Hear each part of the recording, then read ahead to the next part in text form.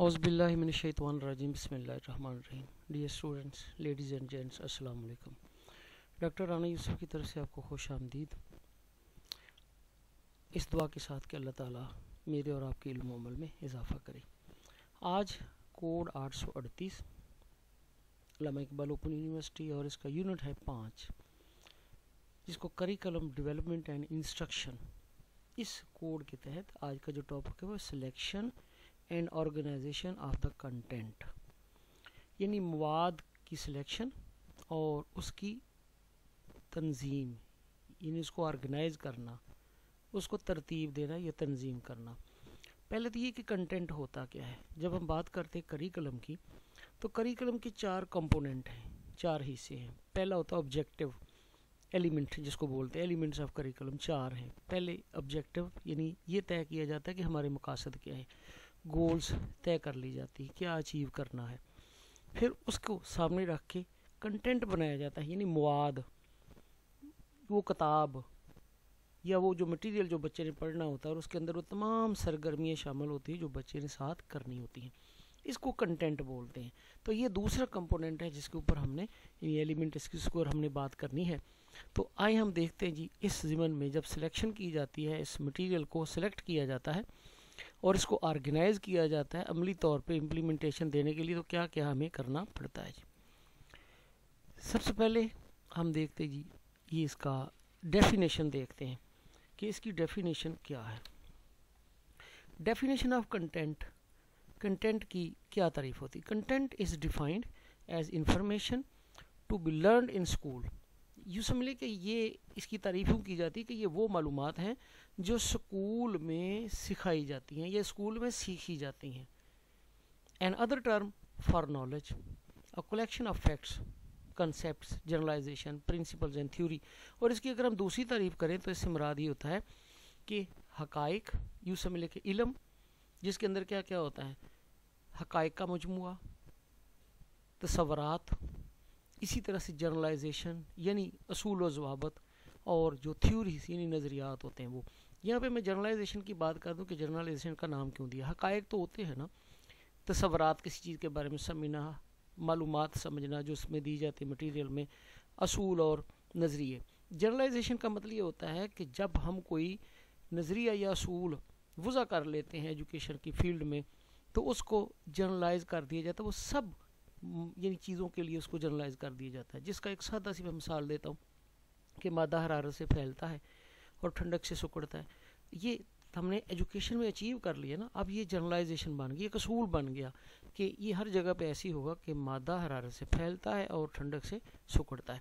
तो यहाँ पे हम कह सकते हैं, इसकी दूसरी तारीफ़ ही है कि इससे मराद है वो इलम या हकायक तस्वरत और जर्नलाइजेशन या असूल असूल और नज़रियात का मजमू इसको हम कंटेंट बोलते हैं, जो किताब के अंदर बच्चे को पढ़ाने के लिए दिया जाता है, या उसके अंदर वो हर वो चीज़ जो सरगर्मियाँ स्कूल के बाहर या स्कूल के अंदर होती है, वो भी शामिल होती हैं। मज़ीद देखते ही definition of concept content content comes to any form अब ये जो कंटेंट होता है, मुआद, ये किसी भी शक्ल में हो सकता है। ऑडियो यानी ये ऑडियो कैसेट की सूरत में हो सकता है ऑडियो मूवी की सूरत में हो सकता है रिकॉर्डिंग की सूरत में टेक्स्ट इसी तरह से लिखे हुए टेक्स्ट हो सकते हैं वर्ड्स में एंड वीडियोस वीडियो भी होती है। यानी जिससे भी बच्चा पढ़ सकता है, आज के पैराई में, आज के दौर में, वो सारे का सारा कंटेंट ही है। जब अलामा इकबाल के कोर्सेज की बात करते हैं तो इसके अंदर भी ऑडियो वीडियोस का इस्तेमाल होता है किसी न किसी लेवल के ऊपर। तो ये सारी की सारी इसमें मुआद में ही आती हैं। And it informs entertains enlightens or teaches people who consumed it और ये उन लोगों को, जिन जो इसको पढ़ते हैं, जो इसका इस्तेमाल करते हैं, उनको मालूम देती हैं, उनको तफरी मुहैया करती हैं, उनके वियन को रोशन करती हैं, और उनको इस तरह से, यानी उनके ये इस्तफादे में आती हैं। तो ये सारा मटेरियल उनके लिए बनाया जाता है, जो इनको पढ़ते हैं और इनका इस्तेमाल करते हैं। आगे हम देखते हैं पर्पज़ ऑफ़ कंटेंट इस कंटेंट का मकसद होता क्या है?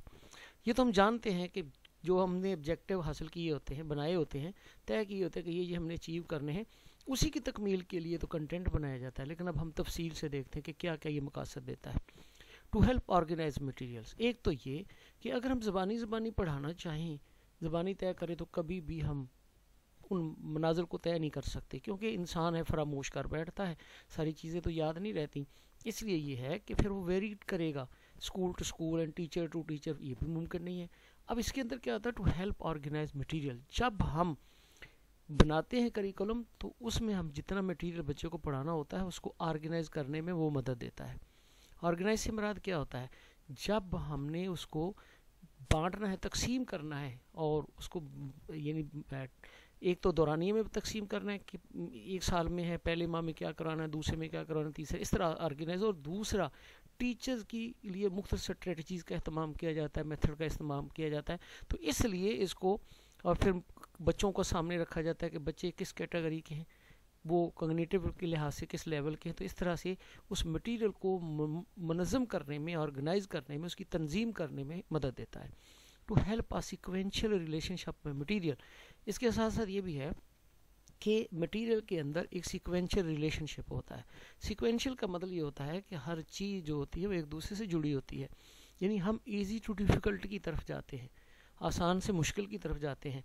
तो ये स्टेप बाई स्टेप जाता है और सिक्वेंशियल का मतलब होता है कि जिसको हम बोलते हैं शाख दर शाख नशरमा। तो मतलब ये होता है कि जिस तरह से हरूफ की पहचान और फिर हरूफ का लिखना, फिर हरूफ को मिलाकर हरफ बनाना, लफ्ज़ बनाना, फिर अल्फाज को मिलाकर सेंटेंस बनाना, ये एक सिक्वेंशियल है तरीका। तो ये भी इसके अंदर रखा जाता है। जब हम कंटेंट लेते हैं तो कंटेंट की जो ये जब हम करिकुलम बनाते हैं तो उसके अंदर हम इस सामने रखते हैं। ये मुमकिन हो जाता है कि उसके अंदर हम सीक्वेंसी दें।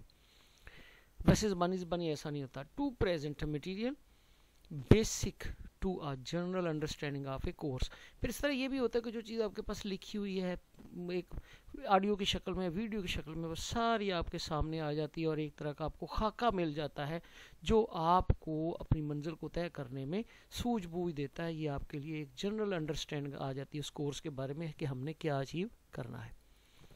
अब हम मज़ीद देखते हैं पर्पज़ ऑफ़ कंटेंट मज़ीद क्या है? To furnish a source of valuable information देखिए इंफॉर्मेशन तो वैसे भी दी जा सकती हैं, लेकिन जब उसके अंदर मुख्तल एक्टिविटीज़ शामिल कर दी जाती हैं, वक़्त के मुख्तल दौरानी होते हैं, फिर इस तरह से मुख्तल अंदाज में मुख्तल मेथडोलॉजी इस्तेमाल की जाती है तो जब करिकुलम डेवलप किया जाता है, उन सबको सामने रख के किया जाता है तो एक तरह से हम यूँ समझ कि जो मालूम हमने बड़ी कीमती बच्चों को देनी होती है, उसको हम फर्निश कर देते हैं, खूबसूरत अंदाज में रिफ़ाइन कर देते हैं, उसके अंदर से पेचीदगी को ख़त्म कर देते हैं। टू प्रेजेंट एप्लीकेशन और फिर इसी तरह से एप्लीकेशन के लिए प्रेजेंट करते हैं, यानी अब अतलाक यानी जब कोई चीज़, जब उसको बना लेते हैं, इस तरह से करिकुलम डेवलप कर लेते हैं कंटेंट मुंतखब कर लेते हैं तो वो एक, उसकी एप्लीकेशन आसान होगी। वो सारी उसके अंदर रिफाइननेस आ जाती है, गैर ज़रूरी चीज़ें मिट जाती हैं और साफ़ शफाफ चीज़ जो आती है करिकुलम डेवलप करते वक्त उसके अंदर जो पेचीदगियाँ होती हैं, मुश्किल चीज़ें होती हैं, वो सारी निकाल दी जाती हैं। और बच्चे की हालातों, हालात के तनाज़र में उसको बनाया जाता है और फिर इस तरह सोसाइटी के नीड्स को देखा जाता है तो वो अतलाक करने में भी आसान होती हैं, एप्लीकेशन उसकी आसान हो जाती है उसको बनाने में, कंटेंट बनाने में। आगे हम देखते थे कंटेंट इज़, कंटेंट क्या है? United with the goals and objectives of the basic education. इसके अंदर बुनियादी तालीम के तमाम गोल्स और ऑब्जेक्टिव शामिल होते हैं जो हमने अचीव करने होते हैं। गोल्स क्या होती हैं? गोल जो होती है ऑब्जेक्टिव से बराडर होते हैं। और एम जो होते हैं, वो गोल से भी बराडर होते हैं। एम जो होते हैं, वो बहुत लंबे अरसे के लिए होते हैं। गोल जो होती है, उस एम की मनाजिल होती हैं। और ऑब्जेक्टिव होते हैं, हर मंजिल को अचीव करने के लिए छोटे छोटे ऑब्जेक्टिव बनाए जाते हैं, उसको हासिल करने के लिए। तो एक तो ये होता है कि कंटेंट जो होता है, वो इन पर मुश्तमल होता है, उसके अंदर गोल्स बे और ऑब्जेक्टिव सारे आते हैं। और इसी पर मुश्तमल ये करिकुलम डेवलप होता है। आगे response to the needs of the learner और इसके अलावा जो हमारा करिकुलम होता है, वो हमारे जो लर्नर होते हैं, उनकी ज़रूरियात को रिस्पॉन्ड करता है। यानी उनकी ज़रूरियात के मुताबिक बनाया जाता है। जो माशरे की ज़रूरियात होती हैं, वही बच्चे को सिखाई जाती हैं। बच्चे को वो ज़रूरियात पूरा करने के लिए तैयार किया जाता है। तो इसलिए वो जो बच्चा जो सीखना चाहता है, उसकी ज़रूरत का ख्याल रखते हुए करिकुलम बनाया जाता है। इसके साथ साथ आकर देखते हैं जी includes cognitive skill and affective domain cognitive skill क्या है? कि जो बच्चे के पास नॉलेज होता है उसके मुख्तलिफ़ दर्जे हैं। जब हम देखते हैं ब्लूम टेक्सानोमी के अंदर तो कोगनीशन में सबसे पहले रिमेंबर आता है, उसके बाद कंप्रीहेंशन आता है, फिर उसके बाद ये अंडरस्टैंडिंग आता है, उसके बाद कंप्रीहेंशन आता है, फिर इसी तरह। यानी जब हम उसके मराहल को देखते हैं तो अगर पुरानी को देखते तो पहले नॉलेज है, उसके बाद होता है कंप्रीहेंशन फिर उसके बाद एनालिसिस फिर सिंथेसिस आ जाता है और उसके बाद एवेल्यूशन यानी वो स्टेप बाय स्टेप उसका जो कॉग्निटिव लेवल होता है, वो बुलंद होता है. तो हम हर दर्जे के ऊपर बच्चे को देखते हैं कि बच्चे का इस वक्त कॉग्निटिव लेवल क्या है. और इसी तरह से जब हम बात करते हैं उसकी अफेक्टिव डोमेन की तो अफेक्टिव डोमेन में भी तो बच्चा का लेवल देखा जाता है कि वो किस हद तक जो बच्चा है उसने तालीम को अपनी शख्सियत का हिस्सा बनाया है, ये किस हद तक उसके किरदार साजी में वो मददगार है। तो ये सारी चीज़ें भी इसके अंदर तय की जाती हैं और उनको शामिल किया जाता है जिससे बच्चे की हर तरह की डोमेन जो होती है, वो तरक्की करे। The content is fully and deeply covers the essential to avoid the mile wide and inch deep impression mile wide से मुराद होता है वसी और इंच डीप से मुराद होता है छोटे छोटे यानी जब भी हम किसी चीज़ को कवर करना चाहते तो बाज़ हम बड़ी चीज़ों को कवर नहीं कर पाते। या फिर बहुत पेचीदा, जो बारीक बीनी की चीज़ें होती वो रह जाती हैं। लेकिन कंटेंट का मकसद ये होता है कि वो वसी हद तक भी और इसी तरह से जो छोटी छोटी कॉम्प्लेक्स चीज़ें होती हैं, उनको भी कवर करे। तरह, सर तरह के जो इम्प्रेशन होते हैं, उसको वो प्रोड्यूस करे, जो ज़रूरी है एक बच्चे की शख्सियत के लिए। That is of use to the learner और फिर ये लर्नर के इस्तेमाल के लिए ही बनाया जाता है।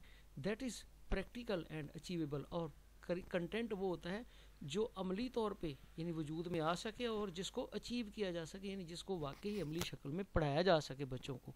ये ना हो कि सिर्फ़ किताब की हद तक हो, लेकिन उसको अचीव ना किया जा सकता हो।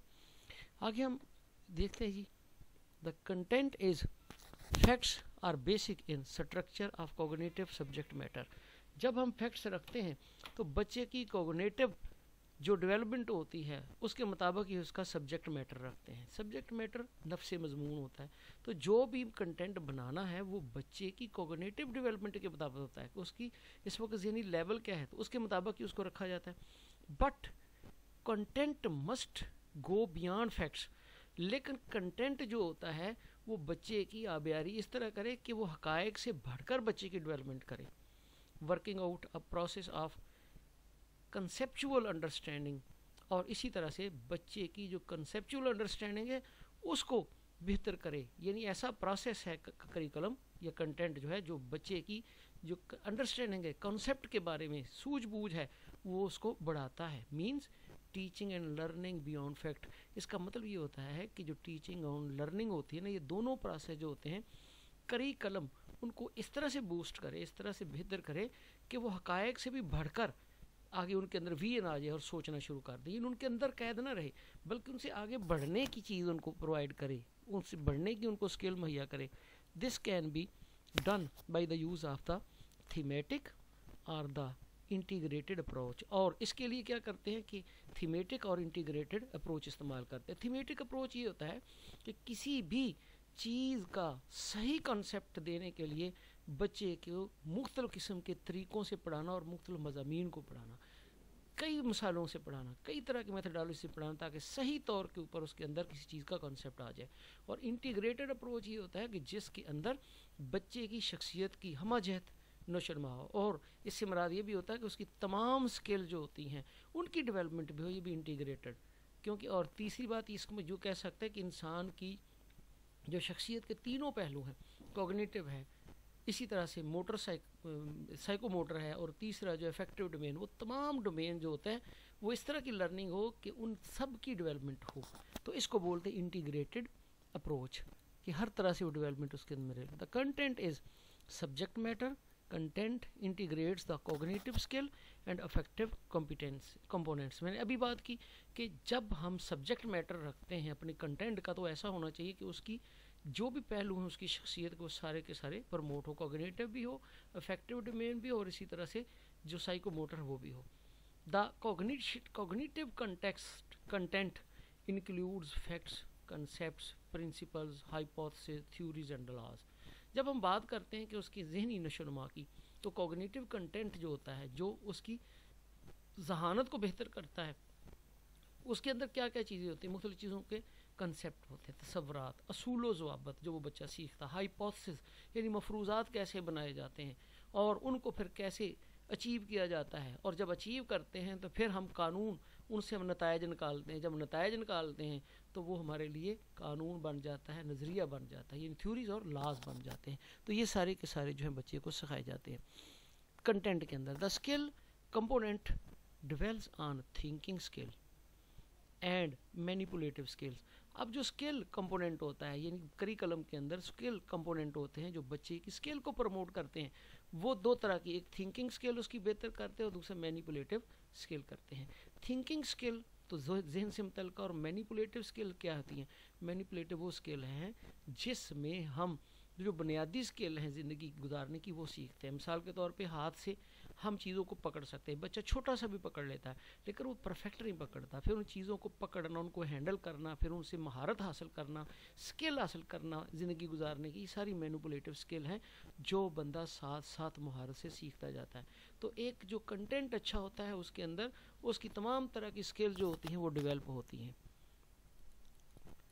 आगे criteria for current content selection जब हम कंटेंट सेलेक्ट करते हैं तो उसका क्या क्राइटेरिया क्या मैार है? तो उसके लिए कुछ असूल हैं। जो फ़र्स्ट प्रिंसिपल वो क्या, पहला असूल ये है कि one guiding principle related to subject matter content is to observe the following qualities यानी जब आपने एक बच्चे को कंटेंट देना है, जिसका कोई सब्जेक्ट मैटर है सब्जेक्ट मैटर होता है नफ्स मजमून। जो किसी मजमून का नफ्स है, उसका थीम है, जो उस बच्चे को सिखाना है, पढ़ाना है तो मैंने पहले बात की कि उस बच्चे के लेवल को भी देखा जाता है। तो अब क्या करना है कि जब हमने कोई सिलेक्शन करनी है उसकी तो इन क्वालिटीज़ को देखेंगे in the selection and organisation of the content यानी उसकी सिलेक्शन में और ऑर्गेनाइजेशन में इन चीज़ों को। पहली चीज़ होता है वैलिडिटी वैलिडिटी क्या है? वैलिडिटी का मतलब होता है कि वो कंटेंट वैलिड हो। मिसाल के तौर पर जो आपने ऑब्जेक्टिव रखे हैं, उन ऑब्जेक्टिव को अचीव करने में मदद देता हो। ये ना हो कि रखे कुछ हैं कंटेंट और हैं। अगर आपने जो ऑब्जेक्टिव रखे हैं और उसके बाद कंटेंट बनाया तो कंटेंट उनको अचीव करने में मदद ही नहीं देता। वो मटेरियल उसके मतलब है ही नहीं तो फिर उसका बेमकसद है, वो वैलिड नहीं है। वैलिड वो है जो दुरुस्त हो, उसके मुताबिक जो अचीव करना है। और दूसरा सिग्निफिकेंस हो, इसके अंदर अहमियत हो। सिग्निफिकेंस इस लिहाज से हो कि वो उसके ऊपर काबिल अमल भी हो, बच्चे के लिए वो अहमियत का हमल भी हो, और इसके साथ साथ वो अमली तौर पे वो वाकई उसके अंदर यूज़बिलिटी हो, इस्तेमाल में आता हो। बैलेंस बैलेंस का मतलब होता है कि इसके अंदर मटेरियल ऐसा हो कि वो तमाम जो हम उसके डिमेंड्स हैं बच्चे की डेवलपमेंट की, उनको वो कवर करता हो और इसके अलावा बच्चे की हमा जहत नशोनमा करता हो और हमारे तमाम जो एस्पेक्ट्स होते हैं एजुकेशन के, उनको वो कवर करता हो। सेल्फ सफिशेंसी सेल्फ सफिशेंसी का मतलब ये होता है कि इसके अंदर बच्चे की डेवलपमेंट के लिए तमाम चीज़ें ज़रूर मौजूद होनी चाहिए जिससे उसकी मुनासिब स्किल की डेवलपमेंट होती है। और दूसरा सेल्फ सफिशेंसी से मुराद होता है, यानी खुद कफील होना, कि ये मटेरियल जो होता है, जिस ऑब्जेक्टिव के लिए रखा है, उस ज़रूरतों को पूरा करता हो। इंटरेस्ट इसके अंदर दिलचस्पी का पहलू पाया जाए, यानी जो चीज़ बच्चा अचीव करता है, उसके लिए वो दिलचस्प ही होता है। तो दिलचस्पी से मुराद ये नहीं है कि कोई फ़नी किस्म का हो, इससे मुराद ये होती है कि उसकी जो एक्टिविटीज़ हैं वो इस तरह से रखी जाएँ कि बच्चा उसके अंदर दिलचस्पी ले और दूसरा ओवरऑल नफसियाती असूलों को इस्तेमाल करते हुए बच्चों की दिलचस्पियों को सामने रख कर किया जाए। यूटिलिटी का मतलब होता है कि वो मुफीद हो, उसका इस्तेमाल हो। यूटिलिटी होता है अफादियत देना। वो बच्चे की लर्निंग में अफादियत रखता हो। वो सोसाइटी की नीड्स को पूरा करने में अफादियत रखता हो। और फिजिबिलिटी का मतलब ये होता है कि जिस चीज़ की फिजिबिलिटी मुमकिन हो, वही है। अब फिजिबिलिटी कैसे होता है? फिजिबिलिटी वो होता है जिसको अमली तौर पे इतलाक करने के लिए आपके पास रिसोर्स हो, पैसा भी हो टीचर्स भी हों, फिर जायज़ा लेने के लिए वसाइल भी हों, आपके पास बिल्डिंग भी हो, सब कुछ हो। यूँ समझिए वो चीज़ें जो मादी चीज़ें होती हैं जिसके अंदर उसको पूरा करने के लिए तमाम एफर्ट्स ऑर्गेनाइज़र पैसा उन मवाद का मौजूद होना, सारा कुछ होता है तो फिर वो फिजिबिलिटी होती है अमली शक्ल में आना। तो ये असूल हैं कि इन चीज़ों को सामने रखें तो ये पहला असूल है क्राइटेरिया उसका। अब हम इन्हीं चीज़ों की वजाहत करते हैं जी सेल्फ सफिशेंसी क्या है।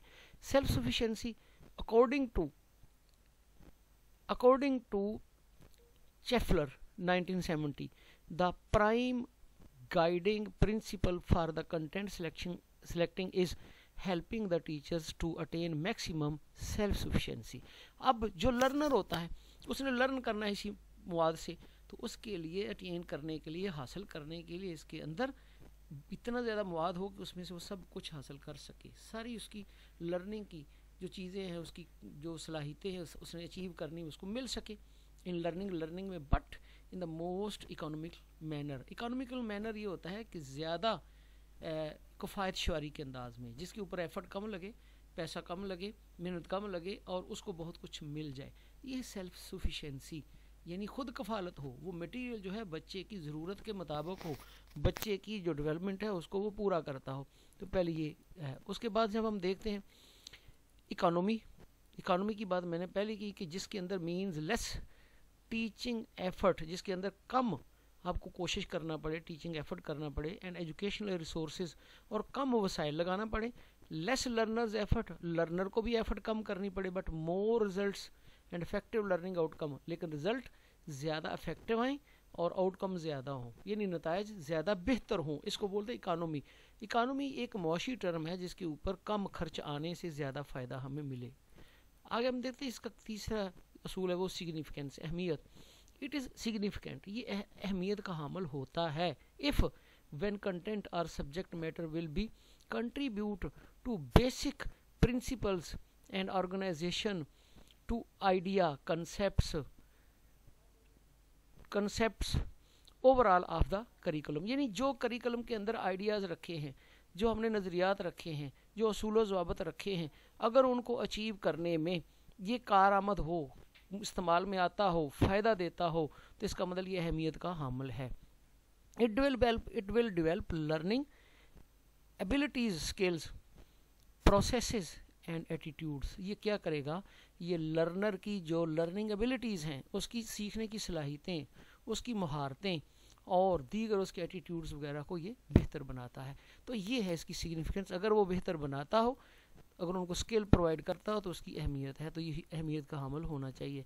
मज़ीद हम सिग्निफिकेंस को देखते हैं कि it is significant if it will develop the cognitive affected and psychomotor skills of the learner मैंने बात की कि एक बच्चा जो होता है, मैं थोड़ी सी इसके ऊपर फिर वजाहत कर देता हूँ।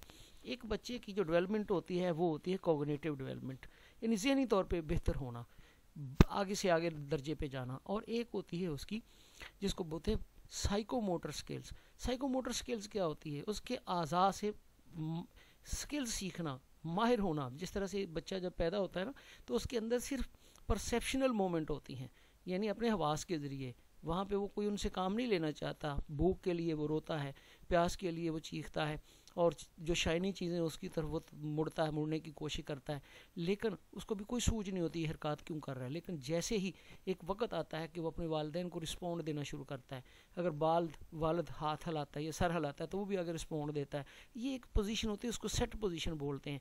फिर उसके बाद आहिस्ता आहिस्ता क्या होता है कि वो फिर उनको समझ के करना शुरू कर देता और आहिस्ता आहिस्ता जिस तरह से पहले खड़ा होता है, फिर भागता है। तो अब तो ज़रूरत के तहत भागता है, चलता है, लेकिन एक वक्त आता है कि वो एथलीट बन जाता है और अपनी इससे महारत हासिल कर लेता है। हाथ से चीज़ों को पकड़ना और बात, फिर उसी तरह से वो महारत हासिल कर लेता है किसी चीज़ को परफेक्ट तौर पर करने की, फिर इसी तरह से वो माहिर हो जाता है किसी काम को करने की। तो ये उसकी साइको मोटर स्किल्स हैं। फिर उसी तरह से इफ़ेक्टिव स्किल्स क्या आती है? इफ़ेक्टिव डोमेन इफ़ेक्टिव डोमेन में ये होता है कि जो को वो जो सीखता है वो उसकी शख्सियत का हिस्सा बनता है, उसके करदार का, उसके एटीट्यूड्स डेवलप होते हैं, उसके बिहेवियर डेवलप होते हैं, जिसके अंदर, उसके अंदर हमदर्दी का मादा, उसके अंदर मोहब्बत, उल्फत, किसी एहसास ज़िम्मेदारी, ये चीज़ें पैदा होती हैं। ये सारी डोमेन तीनों की वो डेवलपमेंट इसके अंदर हो अगर तो ये सिग्निफिकेंट है। The cultural aspects will be consider और इसी तरह से ये है कि जो कल्चर होता है उस माशरे का, ये उसको भी डेवलप करता हो, क्योंकि कल्चर को डेवलप करना या पुरानी रवायात को अगली नस्लों तक मुंतकिल करना या कल्चर की जो ट्रांसफॉर्मेशन है, ये मुंतकली है, अगली जनरेशन को इसी को तो हम इलम बोलते हैं। अब देख क्राइटेरिया फॉर कंटेंट सिलेक्शन मजीद है रेलिवेंस टू लाइफ यानी ज़िंदगी से रेलिवेंस हो। Learning experience must be related to the learners real life situation and out of the in and out of the school यानी स्कूल के अंदर और स्कूल के बाहर वो जितने भी तजर्बात करता है वो चीज़ें सीखता है, वो सारी ज़िंदगी से मुताबकत रखती हूँ। क्योंकि बच्चे को तो तैयार ही किया जाता है माशरे के लिए, माशरे की बेहतरी के लिए। इसलिए उसकी जो लर्निंग एक्टिविटीज़ होती हैं, वो अमली ज़िंदगी से मुताबकत रखनी चाहिए, ताकि इधर से जो सीखे, अमली ज़िंदगी में उसका इतलाक़ करे। वेराइटी वेराइटी से मुराद होता है मुख्तल इकसाम होना तरह तरह की चीज़ें होना। Learning experience must cover to the needs of the different types of learners by providing different types of experiences. अब देखिए लर्नर मुख्तलिफ़ होते हैं। मुख्तल जो सीखने वाले बच्चे हैं, उनके दरमियान इंडिविजुअल डिफरेंसेस होते हैं, जिसको इनफरादी इख्तलाफात बोलते हैं, वो भी हैं। तो इसका मतलब होता है, कुछ बच्चे बड़ी तेज़ी से सीखते हैं, कुछ कम सीखते हैं। हर बच्चे की अपनी एक नेचुरल इंडिविजुअलिटी है। उसकी इनफरादियत है, उसका अपना एक नुकता नज़र है, उसका अपना एक तरीक़ाकार है, उसका एक अपना स्टाइल है। इसलिए हमें ऐसा करिकुलम डेवलप करना पड़ता है जो तमाम बच्चों की ज़रूरतों को पूरा करे और तमाम बच्चों के अंदर लर्निंग जो है उसको प्रोड्यूस करे, उसको प्रमोट करे। तो इस तरह से एक ऐसा हमें चाहिए जिसके अंदर वेराइटी ऑफ़ एक्टिविटीज़ हों। इस तरह की एक्टिविटीज़ हों कि हर बच्चे को कुछ ना कुछ ज़रूर मिले ताकि उसके वो भी लर्निंग के मराहल को अबूर करें।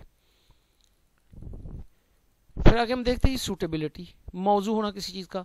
Learning experiences must be suitable to the learners present state of learning and characteristics देखिए इसकी सादा सी मिसाल ये कि जब कभी हम छोटे होते थे और छोटी क्लासों में होते थे तो किताब की जमा किताबें, आलम की जगह आलमें, इसी तरह से मेज़ की जमा मेज़ें, लेकिन जैसे जैसे हम बड़े होते गए, वो मुनासिब ना रहा। उस उम्र के मुताबिक वही मौजूद थे। जब बड़े हो गए तो किताब की जमा कुतब आलम की जमा उलमा मस्जिद की जमा मसाजिद वो बदल गया ना। इसी तरह से जो जो हमारा जो चीज़ें होती हैं पढ़, पढ़ने वाली वक़्त के साथ साथ जो उस वक़्त के लिए मौजूद होती वही होनी चाहिए। इसी तरह बच्चे की उम्र को रख, सामने रखना चाहिए बच्चे के लेवल को सामने रखना चाहिए उसके मुताबिक ही मुआद होना चाहिए। तो इसलिए मटेरियल जो होता है वो बच्चे की जो उस वक़्त की सीखने की हालत है और जो उसकी करेक्टरिस्टिक्स हैं उसके मुताबिक ही होना चाहिए। तो ये इसको बोलते हैं सूटेबिलिटी कि उसके अंदर मुनासबियत होनी चाहिए। फिर हम देखते हैं वैलिडिटी जिसका मैंने पहले कहा कि वो टारगेट को अचीव करता हो। It relates to the authenticity of the content selected जो सिलेक्ट किया आपने कंटेंट उसकी अथेंटिसिटी यानी उसकी सदाकत के मुताबिक होना चाहिए। यानी जो आपने सबसे पहले ऑब्जेक्टिव रखे ना, कि ये ये हमने अचीव करने तो कंटेंट वो होना चाहिए जो उनको पूरा करे, वो टारगेट के ऊपर हिट करे। This refers to the relevance of the stated learning experiences to the stated goals of the curriculum यानी हमने जो करिकुलम के लिए जो गोल्स तय की थी, जो बयान की थी कि हम ये ये अचीव करना चाहते हैं, उसी के मुताबिक ही लर्निंग एक्सपीरियंस रखने चाहिए। इन एक्टिविटीज़ वो रखनी चाहिए जो उस गोल तक पहुँचने में मदद दे। इसको हम बोलते हैं वैलिडिटी मजीद कहते हैं कि मीन्स टू थिंग्स इससे दो माने मुराद लिए जाते हैं in the content related to the objectives एक तो ऑब्जेक्टिव के मुताबिक होना चाहिए and is the content true or authentic और इसके साथ जो हमारा कंटेंट है, वो दुरुस्त भी होना चाहिए। एक तो ऑब्जेक्टिव को अचीव करे, और दूसरा, वो वाकई ही सही हो, जिसको हम दुरुस्त कहते हैं। आगे हम देखते हैं interest the content should suit the personality and intellectual capabilities of the learners students देखिए स्टूडेंट को बहुत पेचीदा बात सिखाई जाए, वो भी उसकी दिलचस्पी का बायस नहीं, बहुत सादा सी बात बताई जाए, वो भी दिलचस्पी का बायस नहीं। जिस तरह से छोटे बच्चे सादा सादा जोक सुन के हँसते हैं, लेकिन जब वही बच्चे बड़े हो जाते तो वो जोक सुन के उनको दिलचस्पी नहीं होती। वो उनकी उम्र के मुताबिक सूट करता है। इसी तरह मटीरियल भी उनकी शख्सियत और उनकी जहानत के मुताबिक होना चाहिए।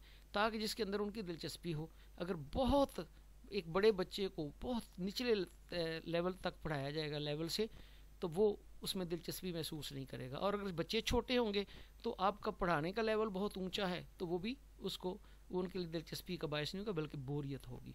In the content interesting to the learner ये is the content interesting to the learner देखना ये है कि क्या ये कंटेंट जो है वो लर्नर के मैार का है।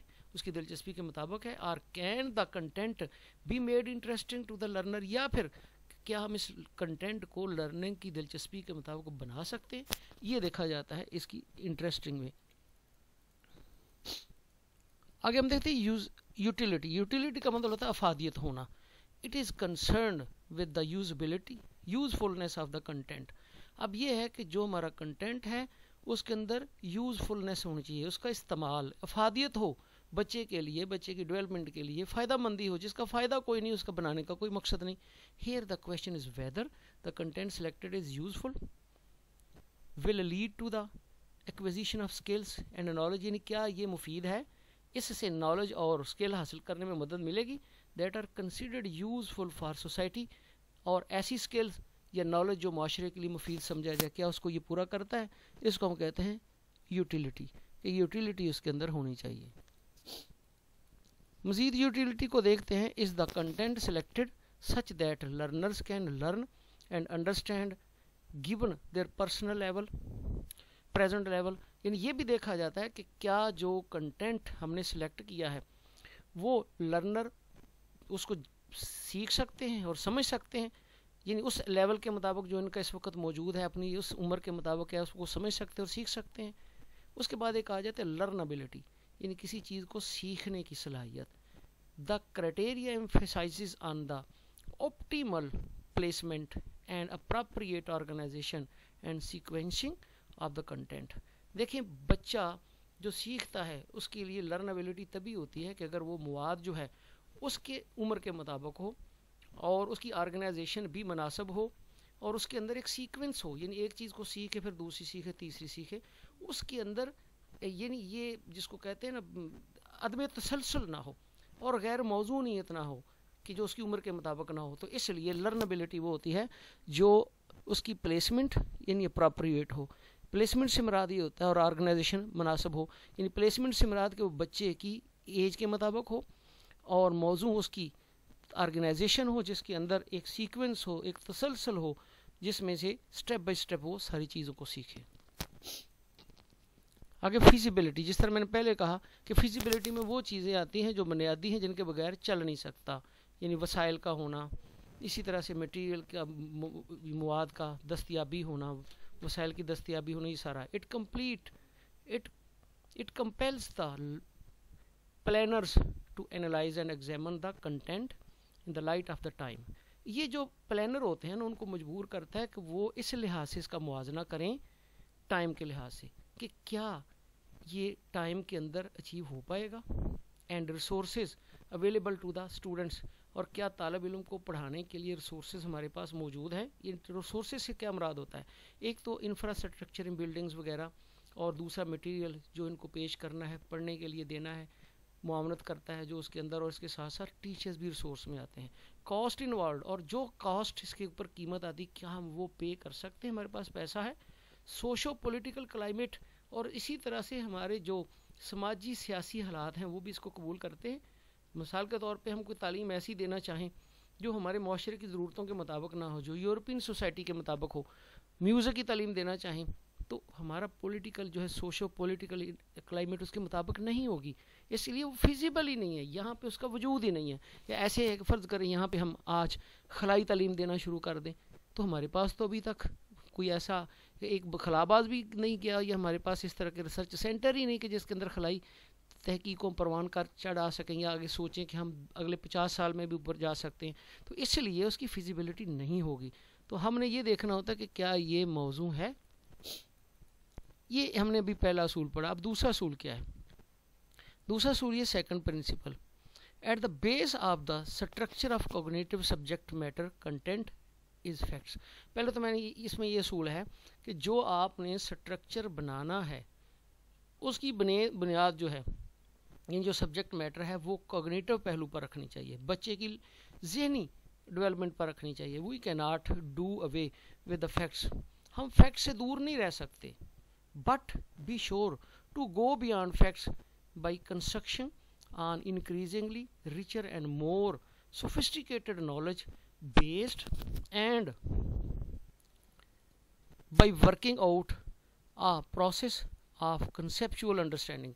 यानी इसका मतलब यह है कि हम हकायक के बगैर काम चला नहीं सकते, लेकिन हम अच्छी प्लानिंग के साथ बेहतर तौर पर इलम को, यानी नफीस या रिफाइन इलम को बनाकर और बच्चों को उसको प्रोवाइड करके और बेहतर तरीके से उनको कंसेप्चुअल एजुकेशन दे के हम जो हमारी तोक़ात होती है, जो सूझबूझ का हमने लेवल रखा है, हम उससे भी आगे बढ़ सकते हैं। तो दूसरा असूल ये होता है कि हमने बच्चे के कोगनेटिव पहलू को सामने रखना है कि किस तरह उसको डेवलप करना है, ताकि हम और भी आगे बढ़ें। इसी तरह से हम दूसरे असूल को भी कुछ और रहता है, जिसको हम पढ़ते हैं। जो सेकंड है, वो है प्रोवाइडिंग अपॉर्चुनिटीज़ फॉर एक्सपेरिमेंटेशन फिर हमने जो चीज़ें बना ली हैं एक्टिविटीज़ तय कर ली हैं, उनको प्रोवाइड करने के लिए, उनके तजर्बात के लिए, उनको मौका भी मुहैया करना है, ताकि बच्चे जो उनको सीख सकें। फिर presenting the idea of others फिर इसके अंदर दूसरे जो लोग हैं, दूसरे माहरीन हैं, जो फीडबैक देने वाले हैं, उनसे भी, उनके आइडियाज़ को भी शामिल करना है। इसके अलावा एम्फेसाइजिंग कंसेप्चुअल अंडरस्टैंडिंग और इसी तरह से जो हमारी कंसेप्चुअल अंडरस्टैंडिंग होती है, यानी किसी चीज़ को हम किस पैराए में लेते हैं, किस तरह में समझते हैं, उसके ऊपर भी ज़ोर देना है कि हमारे सोसाइटी में, ये माशरे में इसको किस लिहाज से देखा जा रहा है। अब हम तीसरा सूर इसका देखते हैं जी subject matter content content is an integration of cognitive skill and affective elements पहले भी मैंने बात की कि जो हमने अपना सब्जेक्ट मैटर रखना है, वो बेस करना चाहिए बच्चे की कोगनेटिव स्किल के ऊपर, यानी उसके जहनी डेवलपमेंट के ऊपर भी और उसकी इसी तरह से जो मोटर साइको मोटर डेवलपमेंट है, वो भी और उसी तरह से अफेक्टिव डोमेन पर। तो ये समझ कि तीनों को सामने रखकर उसकी जो करिकुलम है डेवलप करना है। The structure of subject matter content अब सब्जेक्ट मैटर कंटेंट जो होना चाहिए, वो कोगनेटिव होना चाहिए। यानी जो आपने उसका नफ्स मजमून रखना है, उसके अंदर उसकी कोगनेटिव डेवलपमेंट होनी चाहिए। उसके अंदर क्या क्या चीज़ें रखनी फैक्ट हकायक क्या है? कॉन्सेप्ट किसी चीज़ की कॉन्सेप्ट क्या है? तस्वर क्या है? प्रिंसिपल असूल क्या है? हाइपोथेसिस कौन कौन सी चीज़ें जो हैं मफरूज़े के तौर पे बना सकते हैं? फिर उसको प्रूव करके उससे हम थ्योरीज और कवानीन बना सकते हैं लाज बना सकते हैं। तो इस तरह से कॉग्निटिव डेवलपमेंट के अंदर यही होता है कि हम साइंटिफिकली किसी चीज़ के ऊपर रिसर्च करके उसके बारे में कुछ नज़रियात बना लेते हैं।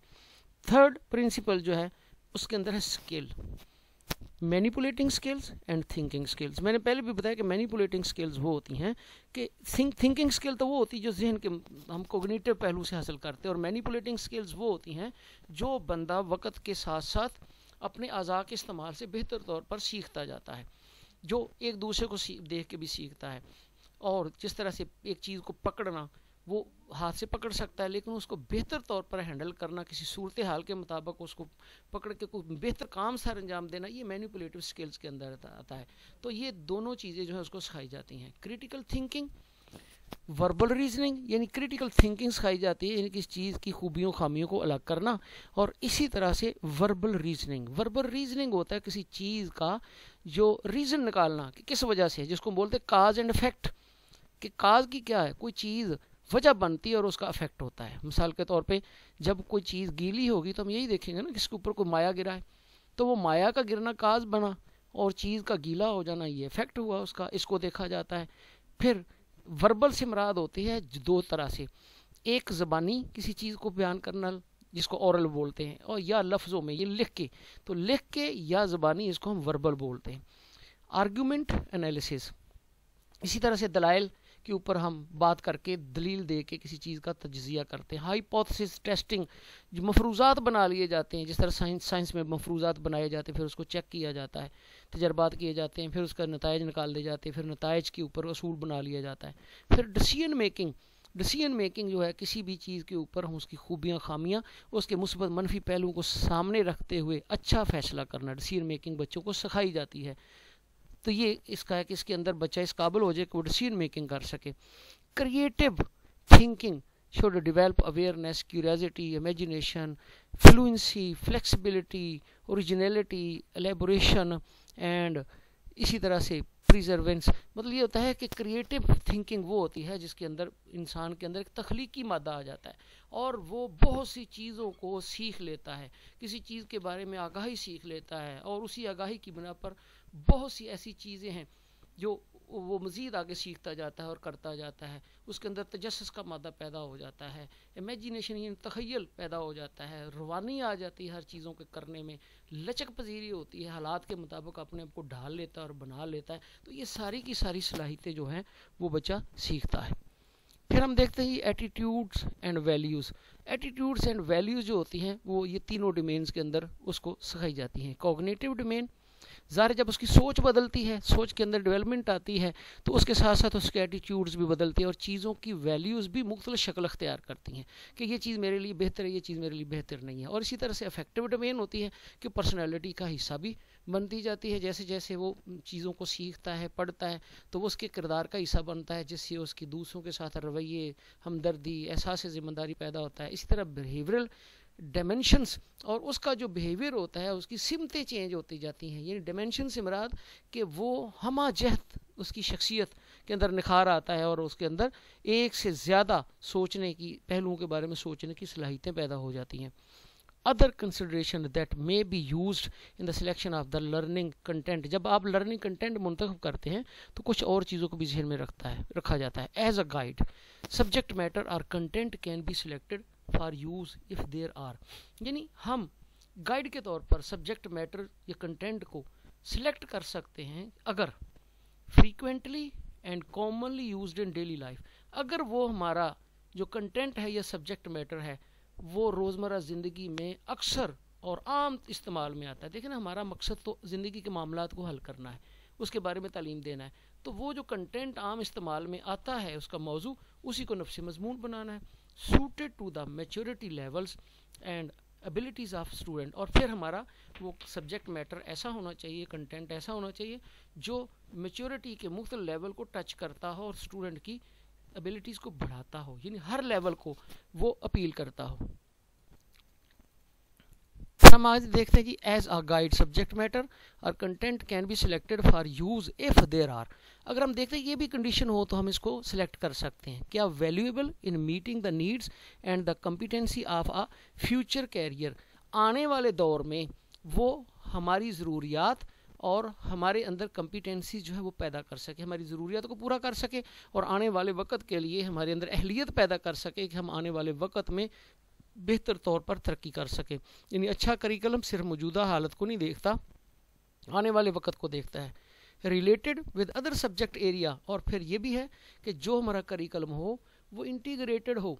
वो दूसरे जो सब्जेक्ट एरिया हैं, उनके साथ भी रिलेटेड हो, उनसे अलग ना हो, क्योंकि एक फ़र्द जो होता है, उसकी ज़िंदगी के पहलू जितने भी हैं, वो सारी उसकी ज़रूरियात में आते हैं। उसका नफसियाती पहलू, उसका जज्बाती पहलू, उसका माशरती पहलू मुआशी पहलू ये सारे हैं, जहनी पहलू। अब वो तमाम सब्जेक्ट से रिलेटेड हो। Important in the transfer of learning और इसी तरह से जो कंटेंट वो होना चाहिए, जो लर्निंग में अहम चीज़ों को ट्रांसफ़र करता हो मालूम को ट्रांसफ़र करता हो, उनको मुंतकिल करता हो। तो हम पढ़ रहे हैं ये ऑर्गेनाइजेशन ऑफ़ कंटेंट को। हम देखते हैं organisation of content it demands a thorough understanding of the teaching learning process जो ऑर्गेनाइजेशन ऑफ़ कंटेंट है, इस बात का तकाजा करता है कि हमें जो टीचिंग लर्निंग प्रोसेस है, पढ़ने, पढ़ाने का तरीक़ाकार, इसके मकारे में मुकम्मल सूझबूझ होनी चाहिए। इंपॉर्टेंट एस्पेक्ट्स फॉर दिस और इसके लिए जो अहम चीज़ें हैं जिसको जेन में रखना हो, एक होता है sequencing continuity and integration sequencing का मतलब होता है कि तमाम मवाद सीक्वेंशली हो आपस में वो एक दूसरे से अटैच हो। जितने ही मफाहीम आए हैं, जिस चीज़ को हम समझते हैं, एक चीज़ दूसरी चीज़ को समझने में मदद दे। यानी उसका एक पहलू दूसरे में स्टेप बाय स्टेप हो, जिसको बोलते हैं शाख दर शाख, नशोनमा, किसी चीज़ की शाख दर शाख। मिसाल के तौर पे मैं यही मिसाल दे रहा हूँ कि हरूफ तहजी का समझना और हरूफ तहजी के बाद हरूफ जोड़ के लफ्ज़ बनाना, लफ्ज़ जोड़ के सेंटेंस बनाना, ये सीक्वेंस है उनकी। फिर कंटिन्यूटी का मतलब ये होता है कि जो आपका एक स्टेप ख़त्म हुआ तो अगला स्टेप जो है उससे जुड़ा हुआ हो। उसका तसलसल हो, कहीं पर उसके अंदर गैप ना आए, एक कंटिन्यूटी हो। इसी तरह इंटीग्रेशन का मतलब ये होता है कि वो मुख्तलिफ़ खूबियों का हामल हो, बच्चे की हमा जहत नशोनमा करने वाला हो और उसके अंदर तमाम जो सब्जेक्ट हैं वो आपस में इंटर रिलेटेड हों। मजीद हम देखते हैं सीक्वेंसिंग को पढ़ा it means putting the intent content and material into some sort of order of succession यानी जब ये आगे बढ़े तो एक तरह का इसके अंदर नज्म ज़ब्त हो, एक ऑर्डर हो।